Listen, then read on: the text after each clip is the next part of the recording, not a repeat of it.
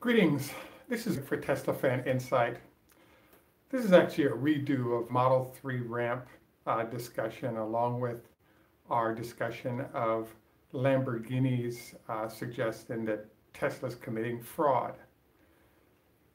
Uh, as you can see behind me, I have video of the truck because the third thing I wanted to cover today is the fact that Daimler is having some battery degradation problems, so we're going to cover that as well as part of this show.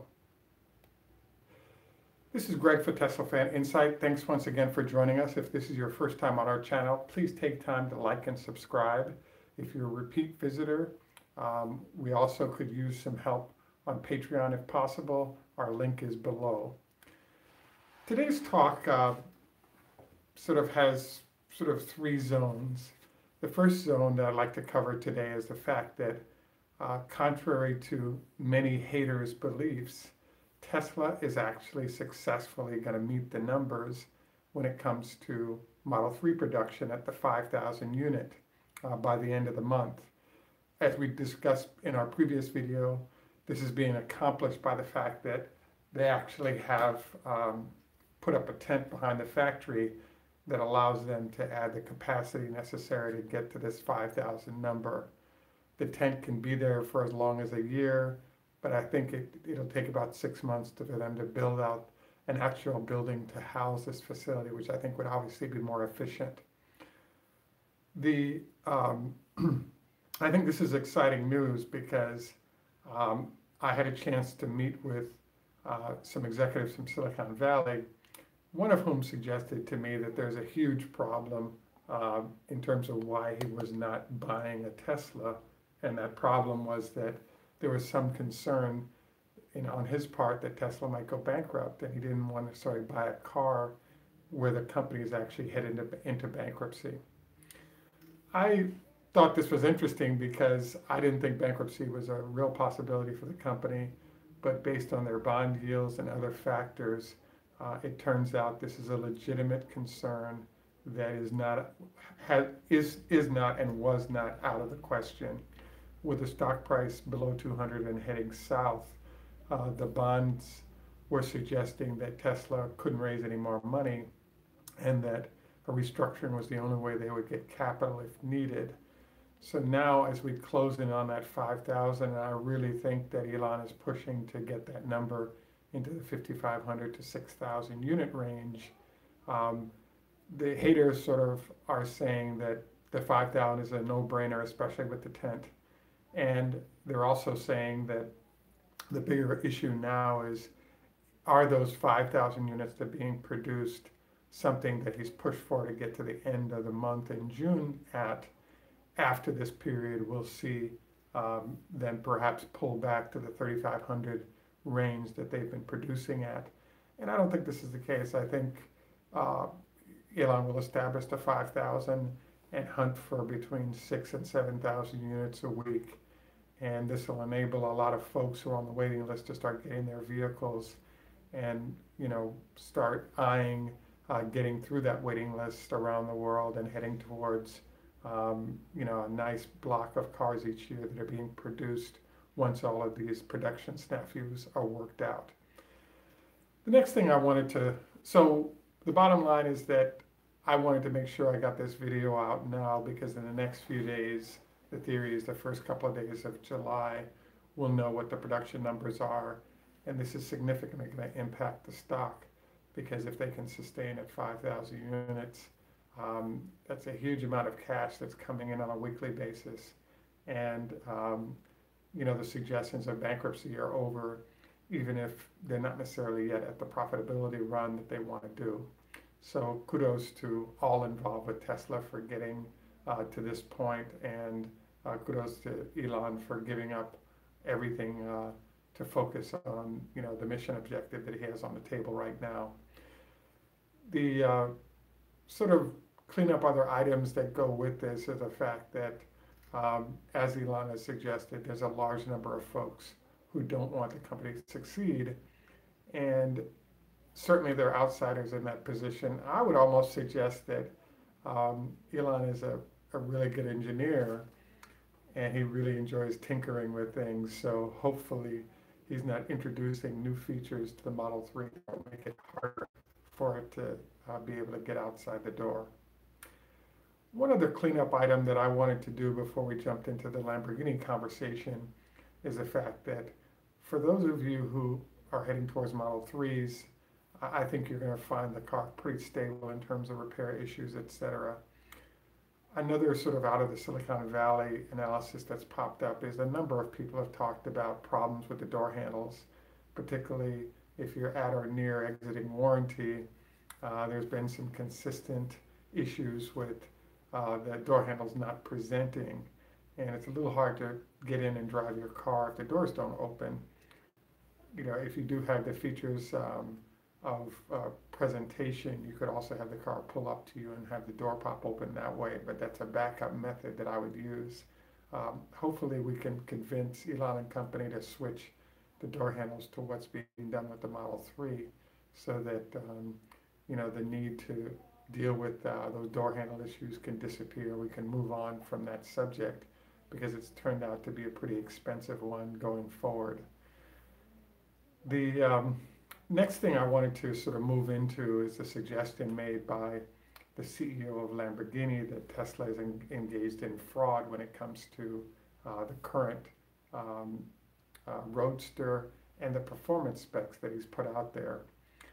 I think this is fascinating because um, I really enjoy Lamborghini's cars. They're beautiful, they're fast, and definitely enjoyable. I think it's unfortunate that he's uh, chosen to go the fraud route and I thought it was interesting how similar those comments are relative to the Roadster that are being made about the truck. What's fascinating to me is that if you look at the video of the Roadster in action, uh, based on the distances being covered, I think you can um, put a stopwatch to see whether or not the car actually can meet the performance specs described for all those folks during the intro that were able to drive the vehicle. So I think that bottom line, um, the response from many of the competitors without competing vehicles that work has been to sort of cast aspersions at Tesla of its non-viability and the battery ability to not there to get this done. Now, speaking of battery abilities, I believe that uh, the head of Lamborghini may have a point about current iteration of batteries unable to deliver the performance that Tesla has described. And this is what's interesting is that Tesla's not handing its battery out to anybody for sale, et cetera, et cetera, unless you buy a vehicle. So uh, in terms of what Lamborghini could buy to compete with Tesla, there isn't anything on the market currently. So hence, one could argue that he's right, that Tesla's uh, solution is non-viable because he can't get any. But uh, I believe that it's a it's a game changer car and a game changer battery, and I do not think it's the same uh, cells that are being used in the Model 3 currently. I think it's a more advanced cell, and um, we're all looking forward to when this thing comes out at the end of uh, 2019 or beginning of 2020, because it is a game changer vehicle and a supercar that really messes things up. Now, this the next thing about the Lamborghinis that I think is really fascinating is that um, Tesla has created a nightmare for Lamborghini, as well as for the, the Chiron and other supercars. And the nightmare is why does somebody spend 2.3 million dollars for a Chiron when you can get a Tesla for 250k that'll blow the doors off of it? And so, experiencing that kind of performance, I think, really uh, puts competitors like Lamborghini, Audi, all the other big car companies at a disadvantage, and it really forces them to move towards electric. As you all probably know, Lamborghini had actually indicated that they would not go electric, but they've now started to switch up. What I don't understand in the case of Lamborghini and some of the other manufacturers is what's going to happen when all of the um, sort of say VW Audi vehicles are using the same battery technology. So how are they going to differentiate the cars if the same battery uh, technology is delivering about the same performance? So we'll all be stay tuned to find out what this is. The thumbnail I'm choosing to use on this is um, an electric uh, uh, Lamborghini concept car that I think look really cool, and I think um, it's worth looking up. And uh, you know, I think it's fascinating. I also think it's fascinating that uh, the CEO of Lamborghini has pursued this line of logic because there is uh, there are cars under the VW brand like um, the e-tron as well as um, the the, uh, the new uh, Porsche that's electric that are going to turn in some pretty good performance numbers and Lamborghini will likely have access to these batteries as well so we'll see you know whether or not they're claiming uh, fraud after they're able to deliver it. The final thing I wanted to cover today is what I call challenges in the electric world relative to battery mm-hmm. degradation. So, um, what's fascinating to me is that there's a problem right now that is being had by Daimler Benz, which is um, they're having a, an issue where usually after three years of ownership of a truck, the vehicle will then go into a secondary market for sale. The problem is when you have a number of trucks that only go 100 miles, the battery packs are being beaten to death because they're using uh, all of the battery pack up and down in terms of uh, usage. And that heavy 100% use of the battery on a constant basis for multiple years results in batteries that are um, that are that are useless at the end of that time because they've been beat um, rather badly. As all of you know who are Tesla owners, it's recommended that by Tesla that you go no more than 90% on a regular basis and no less than 20% in terms of the range. This allows cells to rest or alternate uh, over time. So I believe that there's a, um, a nice situation here for Tesla with all the extended range it has, users can keep the vehicle in an ideal operating zone for the batteries without overuse and therefore look to get unlimited cycles. In the case of the Daimler truck, because of beating up the battery after three years, we're now in a situation where you have um, uh, three years usage and now you have a truck that needs a brand new battery and you might as well get a new truck instead of the new batteries. So there's no real residual value in the used market for something that started out with 100 miles of range and is down to 20 or 30 uh, at the end of three years.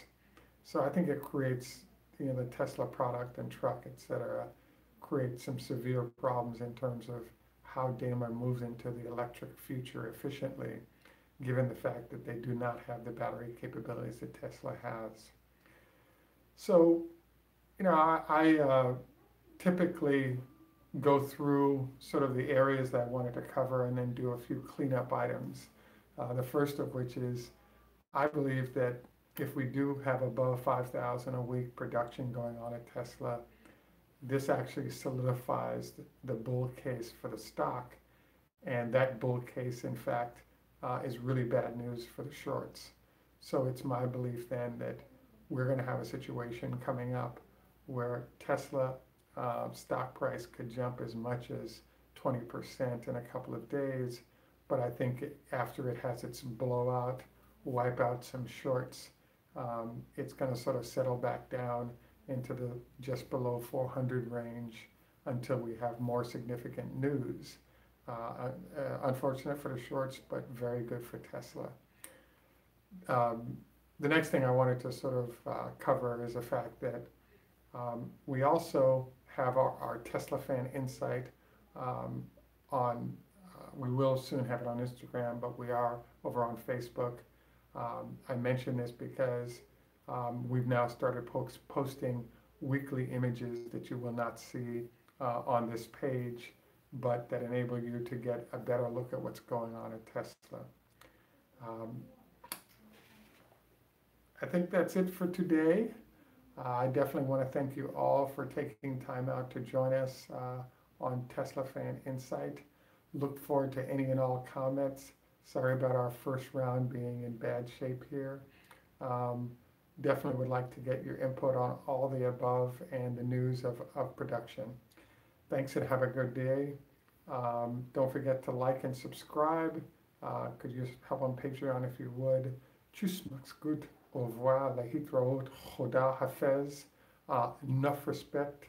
And thanks for joining us once again. Uh, La Rosa Lewis, thanks for joining us, and thank you for the comment.